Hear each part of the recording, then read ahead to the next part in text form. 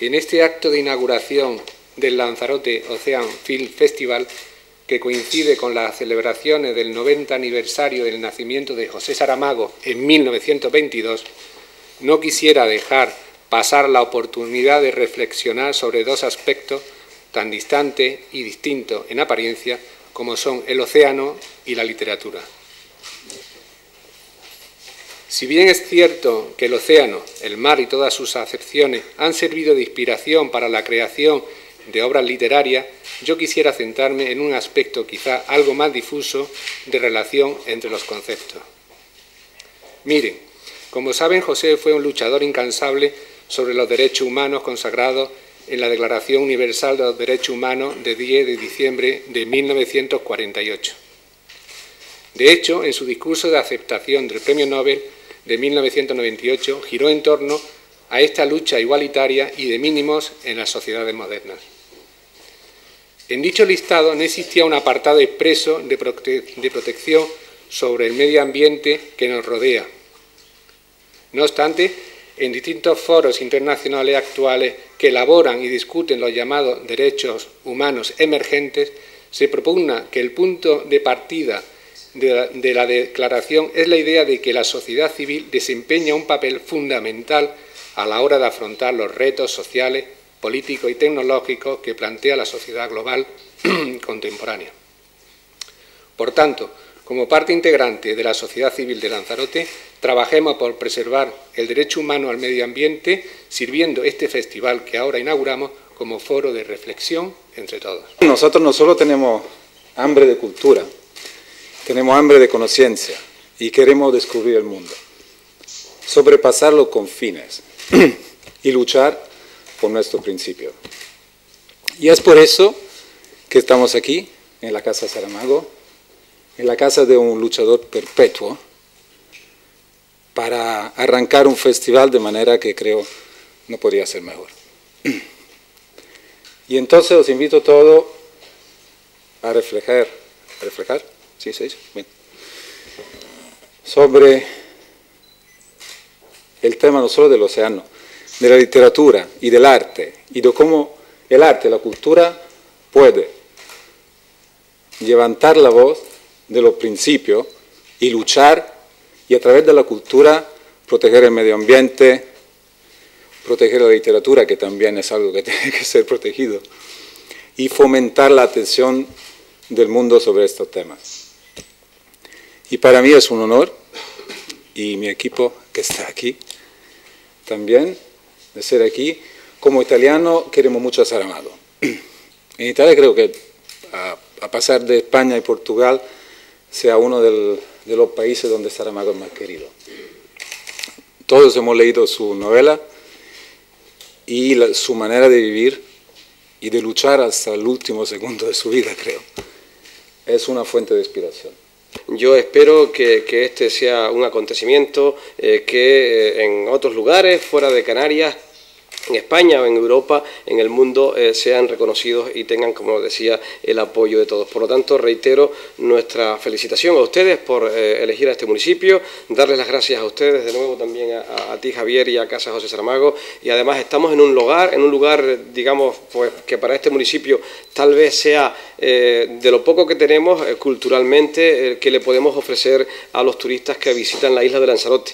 Y por lo tanto es un referente muy importante para este municipio eh, contar y agradecemos a, José Saramago, que en el cielo esté, o donde esté y a Pilar que eligieran como residencia este municipio. Ya les digo, es para, para el futuro de este municipio muy importante seguir contando con eh, este, esta casa, con, la Casa José Saramago, eh, como lo más importante y lo más referente que tenemos hoy en día en este municipio. Por lo tanto, gracias a todos y felicidades a ustedes. Muchas gracias. A ti regreso, Mar. A ti regreso, Mar, al sabor fuerte de la sal que el viento trae hasta mi boca a tu claridad, a esta suerte que me fue dada de olvidar la muerte, aun sabiendo que la vida es poca. A ti regreso, mar, cuerpo tendido, a tu poder de paz y tempestad, a tu clamor de Dios encadenado, de tierra femenina rodeado, cautivo de la propia libertad. A ti regreso, mar, como quien sabe de esa tu lección sacar provecho. Y antes de que la vida se me acabe, de toda el agua que en la tierra cabe, en voluntad tornada armaré el pecho. Arco perfecto, que se alza, retumba y se recoge. Ola del mar que el mismo mar sostiene. Amor que de sí mismo se alimenta. Cristales que me separan del viento fresco de la tarde, en un capullo de silencio, donde los secretos y el aire son las vigas de un puente que no paro de tender. El puente se queda en el espacio, aguardando a quien pase, que el motivo de ser puente, si no cesa la construcción, va mucho más del deseo de estar donde no están. Viene la noche y su recado, su negra naturaleza. La luna quizá no falte, o venga la lluvia de estrellas. Basta que el sueño permita la confianza de verla.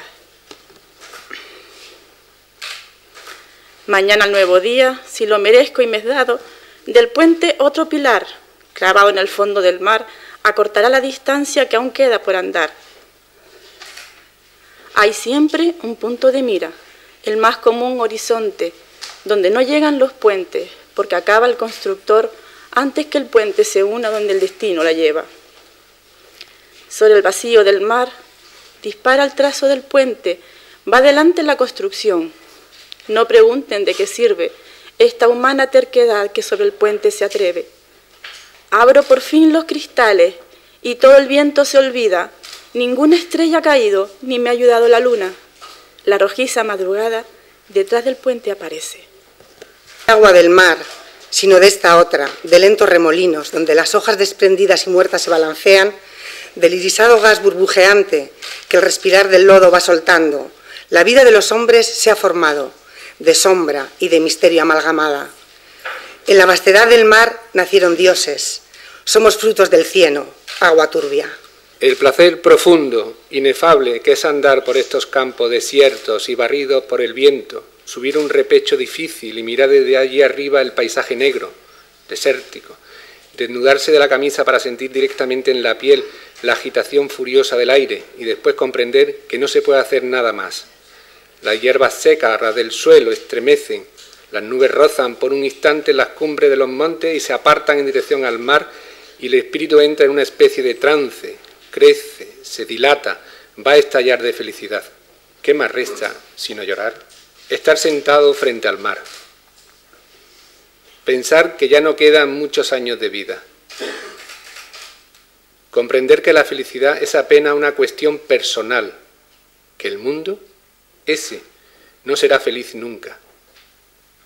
Recordar lo que se hizo y parece tan poco. Decir, si tuviese más tiempo, y encoger los hombros con ironía porque son palabras insensatas. Mirar la piedra volcánica que está en la mitad del jardín, bruta, áspera y negra, y pensar que es un buen sitio para no pensar en nada más. Debajo de ella, claro.